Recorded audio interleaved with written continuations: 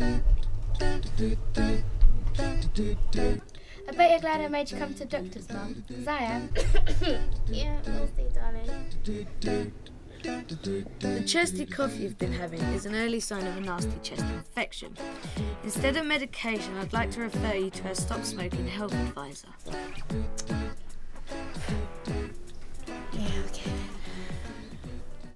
Welcome to the Stop Smoking Service. Congratulations, you've taken your first step to becoming an ex-smoker. Surname? Thousands of people every year give up smoking with NHS support. There's always an advisor in your area ready to advise you. Whether it be nicotine replacement therapy, medication, or just good advice. It doesn't matter how old you are. You can call us free on 08000 778 8000 or visit us at lovevitality.org.